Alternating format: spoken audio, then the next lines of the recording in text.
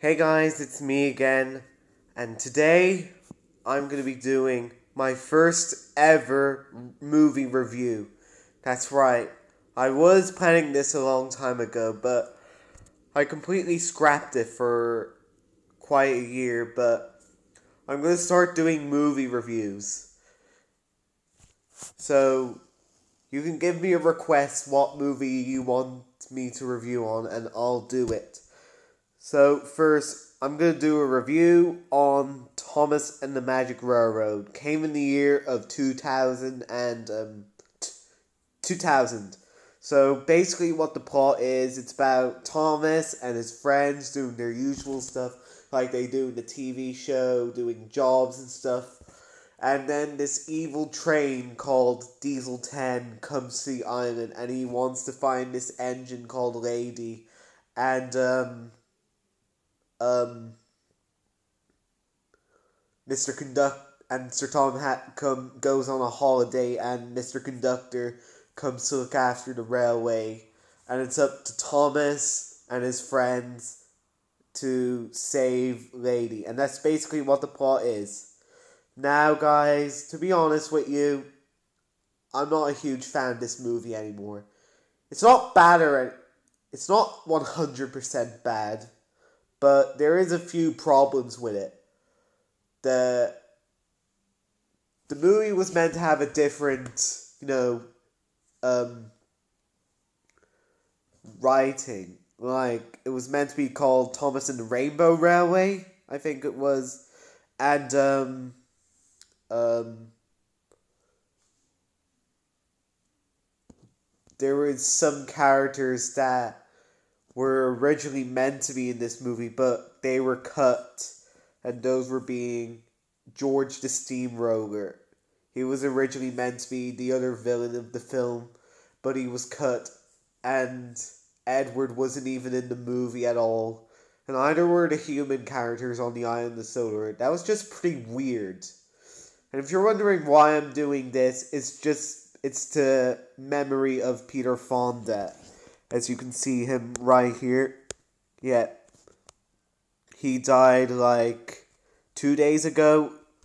I didn't hear the news until yesterday, so I'm doing this review to dedicate to him because he was a great actor.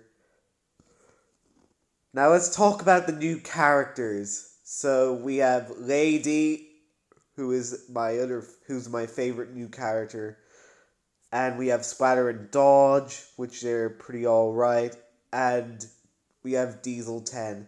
To be honest, guys, I hate Diesel 10 because he's such a jackass. He's very mean to Thomas and his friends. And I absolutely hated him in calling all engines because it's not. He's completely out of character in this Calling All Engines made him like a brilliant villain, and then the the creators of HiT Entertainment spat on him, dragged him to the mud, put blood on him, put wee on him, put poop on him, and dragged him in and put him in the fire, and made Diesel Ten a freaking good guy. That's what pretty much the writers did in a nutshell. So yeah, and um, do I have any positives? Well, yes.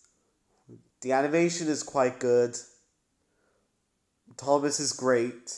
And the music is brilliant. And the songs were really nice to listen to. So, yeah. And there was going to be a theatrical, another theatrical Thomas release, and it was um, um, The Adventures of Thomas, but that was scrapped because we didn't hear any updates on the film, so it was scrapped, and um, we didn't get it.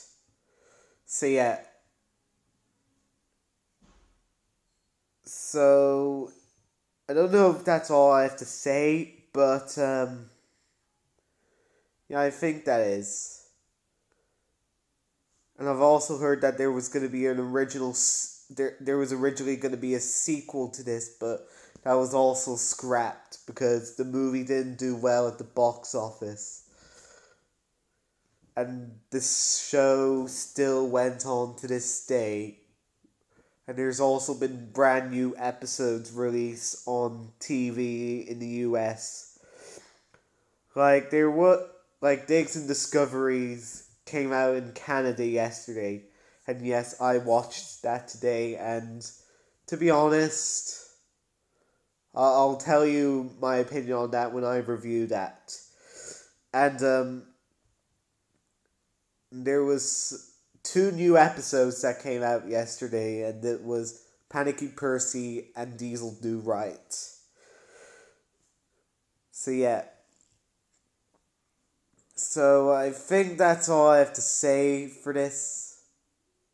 So yeah, I guess that's it overall, Thomas and the Magic Railroad is an average film. Film it get it probably gets a six out of ten. But if you guys hate this film, then that's totally fine. I respect your opinion as long as you respect mine. So that's all for now. Stay tuned for some more videos coming up soon. And this is me signing off.